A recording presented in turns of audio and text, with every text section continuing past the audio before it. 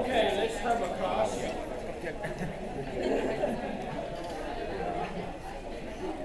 let's have a cross um, I want to mention this endospore again And, uh, and, also I want to mention, unfortunately, the bacillus in the lab did not grow well at all.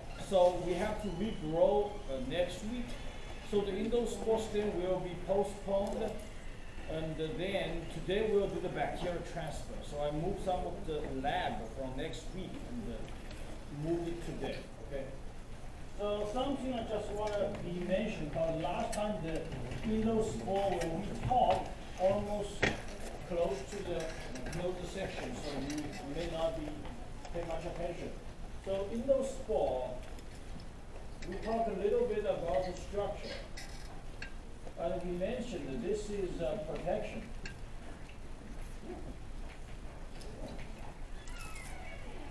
It's a protection structure.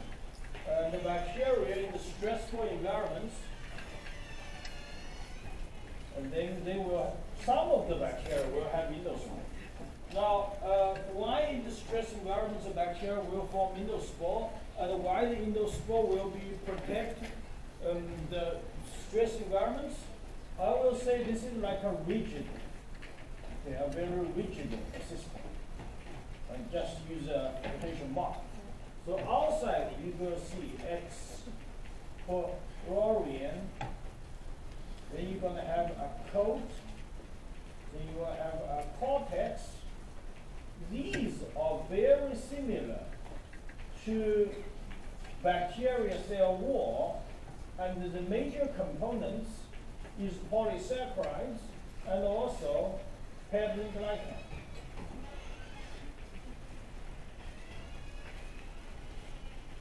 Peptidoglycan. So it looks very similar to the bacterial cell wall.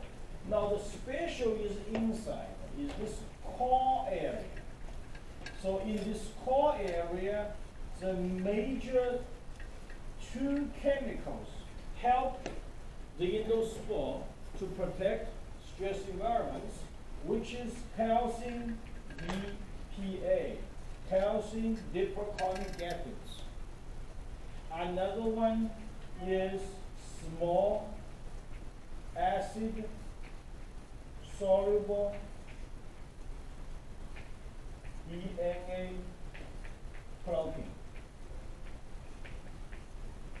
This is not mentioned in most of the general microbiology textbook, but in the food microbiology book, so you mentioned very detailed. That's a major, another major function for the core area of the endospore. And I mentioned a very typical example of an endospore is you do low temperature, long time cooking of veggie and the meat soup. This is very easy to form endospore because the veggie is coming from soil. Bacillus cross clostridium coming from soil. Meat, once you cook it, it generates a very nice environment, has all kinds of nutrition, especially the beef, like a beef extract. That's for cultivation bacteria, like a bacterial medium. So you do low temperature cooking long time. All the normal bacteria, let's say E. coli, let's say generic E. coli, maybe salmonella, they all die. Then in those spores, they survive in the low temperature. Because the stress environment, they can survive of the core area, the specific structure. Then they survive. And then they start to grow and start to dominant. If you are cooking long time, like eight hours, let's say you go hiking, you come back, eight hours later, the whole soup is dominant with the endospore. You eat it, of course you're gonna get diarrhea, vomiting, all those symptoms, cramping, all the time. And uh, it's very soon, the onset time might be like two hours or three hours. Okay, and, and also we call these uh, intoxication. And we will mention the difference between intoxication and infection. This is more severe because those spores, the toxin there is not easy to be destroyed. Okay? So that is what we talk when we talk about the endospore. Okay, and for indoor endospore, the way to destroy it, lots of the research they do is using high temp, high temperature, high pressure, long time cooking, also use radiation, all those UV lights, all those type of uh, new, we call them a new technology or non-thermal new technology, they could be destroyed. Lots of the thing happen is actually the milk powder, all those low, um, low water activity, uh, low water, uh, low water activity foods. Okay, so that's all we have for this section. Today we're gonna be, okay, uh, by the way, I just wanna mention here. So what I put here, if you see, this is the one last year when I do a Zoom link video. So I wrote everything. That's on the three video. You can go back to watch. This is what we just happened in the in the lecture. Okay, so I will take a record. And this is also the lecture four. We do a, a Zoom recording, and this is a classroom recording. So I put both of them there. If you miss something, you can go back to log it. And also there is certain, like 30% of the people who likes to watch video, then it's okay. I mean, some of person like to study by themselves in the dorm, so that, that's okay, I don't mind it. I mean, as long as you study, okay? Uh, lecture four, we're gonna talk about microbial growth, the factors to impact microbial growth, and we talk about nutrition. We will, folks, talk about the bacterial medium. Okay, so there's a lots of information here. First of all, bacteria grow is we call it a binary fission. Binary fission is very simple. Is one become two, two become four, four become eight. Okay, so this is called binary fission. Yes, one become two, two become four, four become eight. So two times n. Okay, that's called the binary fission. So you can see a simple cell division, the cell elongation, they will be formed across cell wall, and the same DNA will be duplicates, and uh, then they separate into the same daughter cell that's supposed to be exactly the same. And finally the cell separate, becomes the daughter cell. And you should know, ideally, these two daughter cells compared to the mother cell could be, should be exactly the same, and the genetic information should also be exactly the same. But why always there's something different? Because of the mutation. Okay, so that's some concept you need to know. So the first thing, bacteria generate a daughter cell is binary fission two times n. Okay, okay, this you should know. Plus one. One equals two. Three equals two equals four. Three equals eight. Okay. Now, the next concept is generation time. And I mentioned this a um, little bit when we talk about group translocation. And I said why group translocation is important for bacteria, here tells you. And you can see a E. coli doubling time is only 18 to 20 minutes. And usually 24 hours later, the E. coli cell will die. So during that short period of time, they'll need to use energy efficiency. That's why they use group translocation.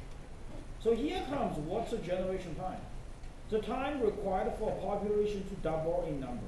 One become two, two become four, four become eight. That's called the generation time.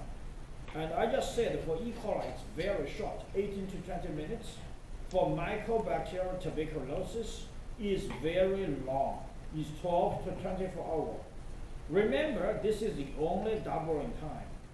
So think about if somebody has bacteria, got TB.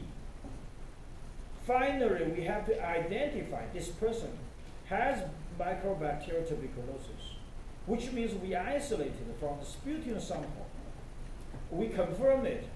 It's going to take a longer time. Because one day is only one cell become two. Is that right? You can do the calculation, might be three weeks or months. And usually these samples we need to send to reference lab. In this area, I think in Lexington, uh, Kentucky, in a little bit south is in Atlanta, Georgia. The reference lab will do a final identification. But during this time around, we cannot be let the patient wait. Or just say, okay, wait there. And the wait, wait for confirmation, then we give you treatment. No, we cannot do that. That's why we do acid fast stain to do a pre-assumptive confirmation. If the acid fast test is positive, we need to give the patient antibiotics immediately. Okay, so here is tells you the generation time is variable between the bacteria. E. coli is very short. Mycobacterial tuberculosis is very long. This is the one, is how you gonna calculate the generation time. Okay, um, how you gonna calculate the generation time? This is basically the NT. N multiplied by 2 times N. Okay, now this is a, is a formula. This T is a specific time. After, I would say after specific time. This N is the original number. And this N is, uh, I would say, how many a generation? Generation number. How many generations? Okay? So this is ori original. Now what we do? If we put a log there,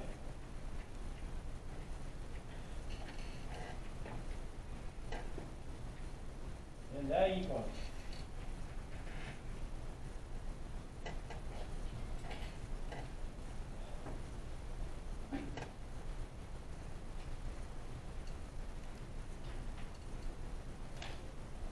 two n. That equals log n add n log two. Okay, well we don't need to count this n. So what we do? Log n e divided by log n. It'll be divided by log two. Okay, what is log? Okay. 2 times 1 equals 2. Log, log 2 equals what? Is that equals 1? So what is log 2? This is equals 10x equals 2. What is this x? 0 0.3. Okay. Completely math. Zero point three. Okay, thank you so much. Okay, so go here, then you multiply this by the t, by the time.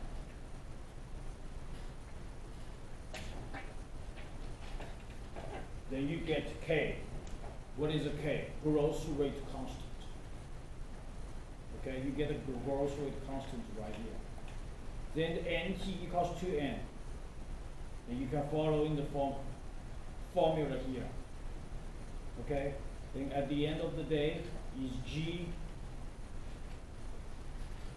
equals 1 divided by K.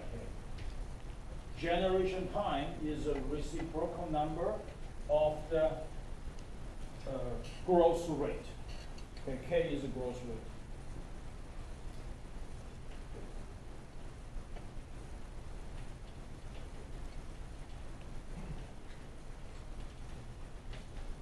You don't have to understanding all these things. Uh, it's completely math. This is important. Okay? This is tells you how to get it. And I don't know how good you are. These we teach in China back 20 years ago. Maybe 25 years ago, we teach in high school.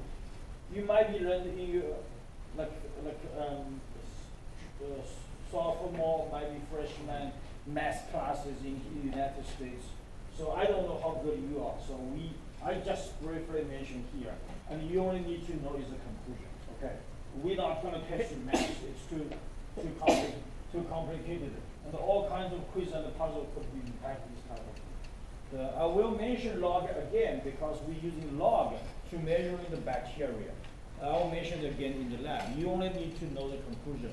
If you can read through here, you can read it. But if you never learned about these log mass, then you don't you don't have to remember all these. Um, you only need to know is the conclusion right here. Generation time is one divided by the growth rate. Okay. Next one is important. This is what I want to mention is the bacterial growth curve. This is the key for a general microbiology class. After this lab, after this class, I said you need to know gram stain, you need to know microscope use, you definitely need to know the bacterial cell growth curve. First of all, you need to know this is a standard bacteria grow in uh, a, a, a, let's say tryptic tryptic soy broth. Let's say standard, which means like 35 degrees Celsius, about 24 hours. Not those uh, bench or uh, poor nutrition environments. And I will explain to you, if you have antimicrobials, it's going to be different. So the standard you need to know, it is absolutely not this, not like a linear curve. Okay, it's not going to be bacteria just be very simple to grow like that. They have a very special curve. Now we draw it. So x-axis is time. Usually it's an hour or minute. It depends. Y-axis is the bacteria population. Population, most of the time, we call it log 10 CFU per ml. We will mention again colony forming unit per ml using log 10 as a measurements. Well, well, I will mention this next week in the lab. Okay? Now, what is going to be the growth curve looks like?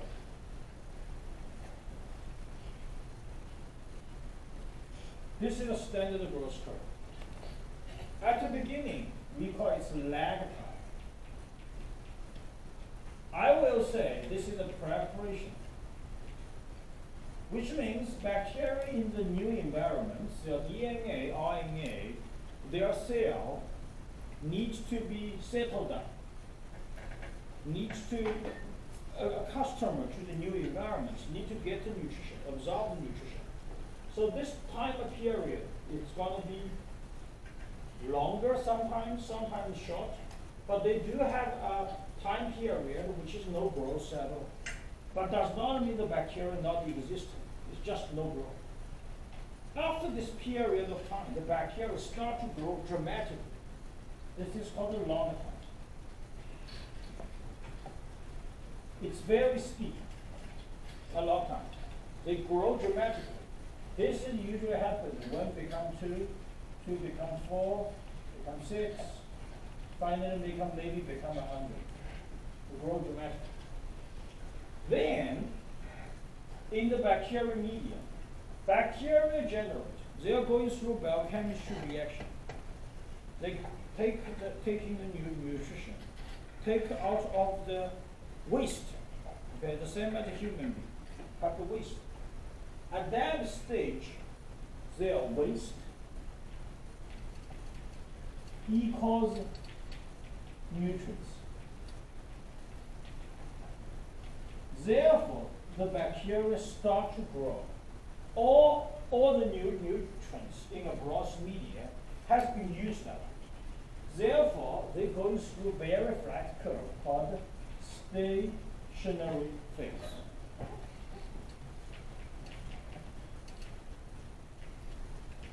Okay, then later on, at this stage, the waste starts to accumulate. No more nutrition can be used. Most of these waste, what do I say, is a toxication chemical for bacteria. It's like H2O2, like O3, or other chemicals. Then they started to accumulate. This waste is more than nutrients. Therefore, the bacterial number start to decrease. We call it death phase.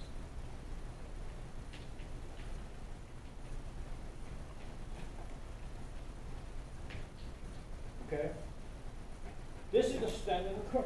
Now I want to mention, first of all, even if you didn't take a microbiology class before, you know how do we know a bacteria is growing there? If we have a broth medium, we see it's become turbidity or become cloudy. We will say, there's a bacteria growing there. Everybody knows. Mm, you have a bottle of water. Okay, let's say an energy drink you bought from somewhere. You take it out, you see it's become cloudy and turbidity. That's not good. There's a bacteria growing there. Sometimes the bacteria already goes through these four phases. So at the end of the day, the base phase and the stationary phase or the end of the log phase, it may look like the turbidity is similar. So the turbidity can only use to quantitatively or qualitatively to identify the bacteria present and existing, but not, cannot use this to judge whether the bacteria is survived or, or dead already. Okay, so be careful about the Claudian turbidity. This is the first one. Second, I want to mention, we're going to mention later on. You have or sometimes heard about, we're going to inhibit a bacterial growth. Sometimes we say we're going to kill bacteria. So what means inhibit? When you buy a hot dog, if you look at the hot dog bag, you see like sodium diacetate, lactic acid, those are antimicrobials. Those antimicrobials is not for killing bacteria. They are for inhibitor bacteria. What that means? Which means the lag time will be extended. That's why most of the food products, there is an expiration time, or we say shelf lifetime. You're not going to eat the hot dog like one year later, or even put in the refrigerator. Because during that period of time, the bacteria is inhibited, which means they all stay at lag phase period, they not stop to grow. But eventually, if they passing the expiration time, they still gonna grow. Okay? They maybe grow not as much as without antimicrobials. That we say it's inhibitor bacteria. But how about what means Q bacteria? Okay, you have a diarrhea. You go to see a doctor. The doctor gives you some antibiotics. This second day or so, you will feel better. What that means? This means you're killing bacteria. The bacteria did not stop the growth curve. So their lag phase time is decreased like this. That's why we say it's killing bacteria. Okay? This is because static. And this is bactericidal. That's a terminology. So we will mention this later on. This is gives you something. Although I'm not teaching for the microbiology lecture, but I want to let you know that wherever you heard about said inhibitor bacteria, that means antimicrobials will be extend the lag phase time, but the bacteria is there. There is a standard for most of the pathogens need to below the level. The exception is E. coli 01577. That has to be zero tolerance under ground beef. Because otherwise you get hemorrhagic uremic syndrome. That's we're going to mention later on. But here I just want to share with you the idea what means inhibit, extend the lag phase, but the bacteria is still there. What means killing? The lag phase stopped from there, not even started the growth. Okay? So that's a phase of the microbial growth.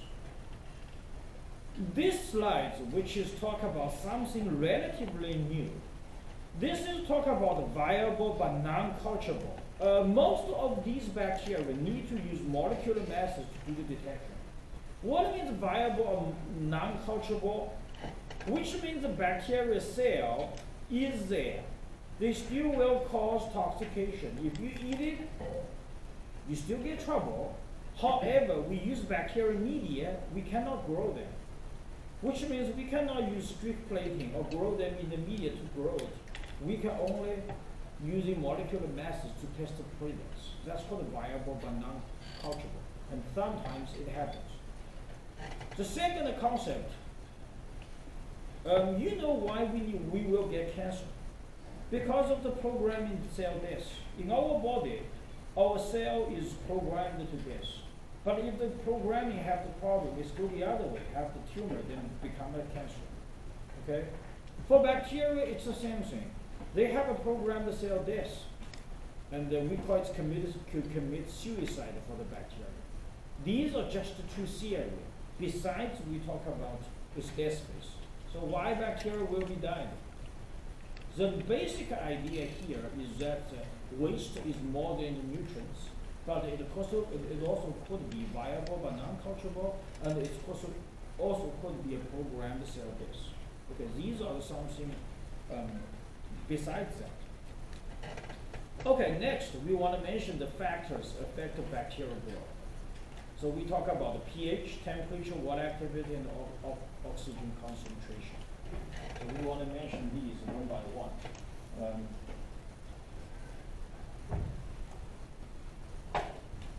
these are the uh, materials, some of them we will test in the lab for the factors affect microorganism growth.